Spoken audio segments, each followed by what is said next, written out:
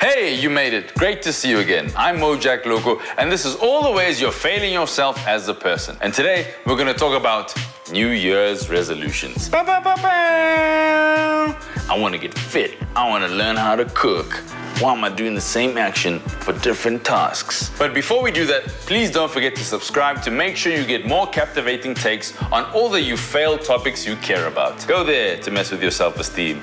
Click here to find out you ain't shit. Do what you gotta do. So, New Year's resolutions. The annual injection of fake hope we give ourselves, having somehow forgotten that it never works out in the end. It's like some casual version of Alzheimer's that all the cool kids are into. Actually, cool kids do have Alzheimer's. They forget the trends we were wearing in the 90s, then they want to tell us about Doc Martens. What's heck? In the context of the year we've just had, resolutions feel like the equivalent of a dog licking his testicles after he's returned from a vet and had them removed. The balls that are not so much the resolution. So just like the nutless pooch, why don't we spend a little bit of time looking back at what we had planned for 2020 and most of all, what the fuck happened to all of it? According to the History Channel, the ancient Babylonians were the first people to come up with the New Year's resolution some 4,000 years ago. You'd probably think that their number one resolution would be to not get chickenpox and die. But you'd be wrong. Chickenpox was a surprise!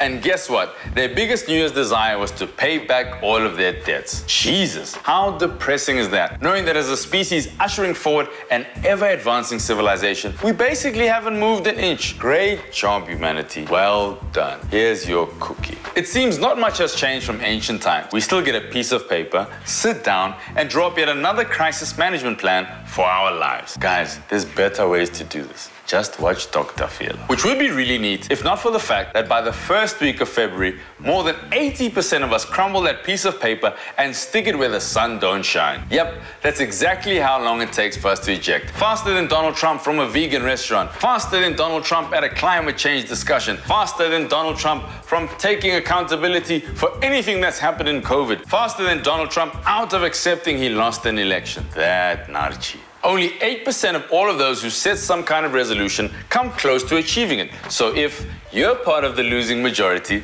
sorry Donald, there's some good news. 2020 leveled the playing field for everybody, which means we can all be total fuck ups. The Lord giveth. You're a fuck up. You're a fuck up.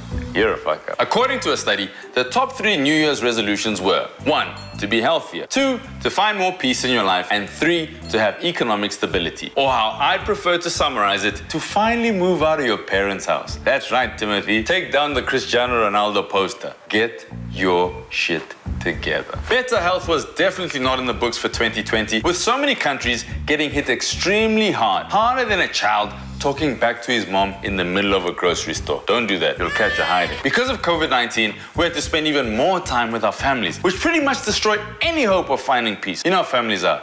Did you take out the dustbin? I just did. Did you take the dog for a walk? We don't even have a fucking dog. Can I live? One of the top global aspirations for 2020 was get this to travel more. I'm assuming that's to the grocery store because that was cut out immediately. Well, if your travel itinerary included a trip to the kitchen to cry between two slices of dry bread, followed by a romantic stroll downstairs to throw your dreams into the bin, then congratulations because you're fucking killing it. You played yourself. Cape Town? No you're going to the garage. To be fair, not everything was horrible. The 1st of January saw many people around the world promise themselves that they would finally start going to gym. This is something we all struggle with, usually with not one but ourselves to blame.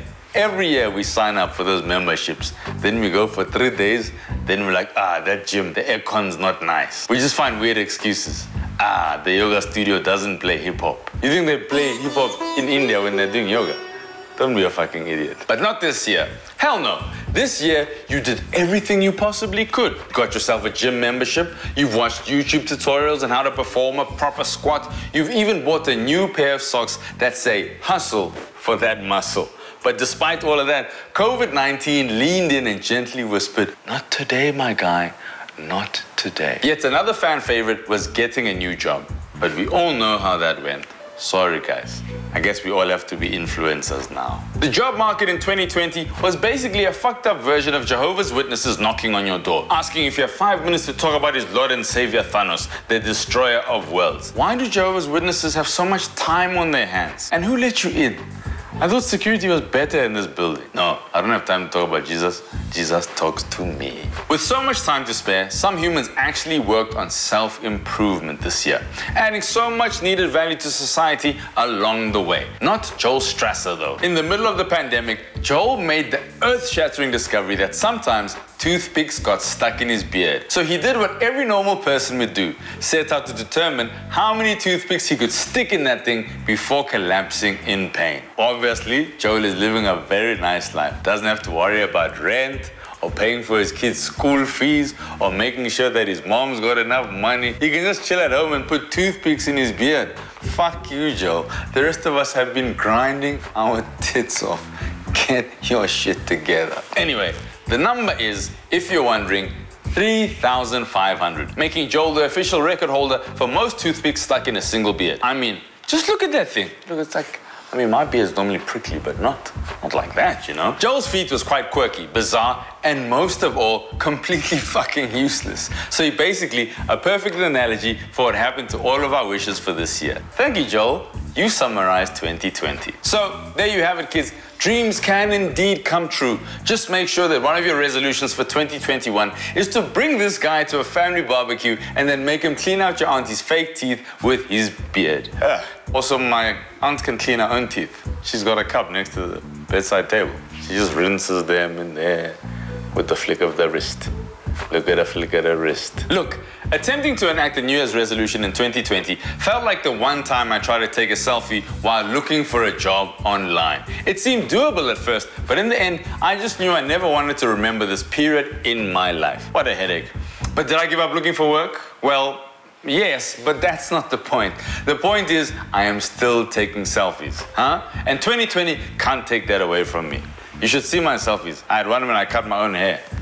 What a fucking horror show. So yeah, get that yoga class membership. Buy those flight tickets. Adopt a dog. And hey, if things don't go according to resolution, just pray that you can use how awful this year has been to justify your failures to yourself, your friends, and your family at large. Let's all take solace in the fact that for once, the year was a fuck up and it wasn't just you. Unless it was going shit in January then it's all you. We have run out of time to dissect all the New Year's resolutions from around the world and the many ways in which people have failed them. That's why we'd like to ask you what was your resolution for 2020 and how did that not work out for you? We can all cry together. Let us know in the comment section below. Please tell me. I love hearing about your failures. I don't know why though. Maybe there's something wrong with me. Maybe I'm a sadist or is it a masochist? Doesn't matter. I like pain. All I know is pain.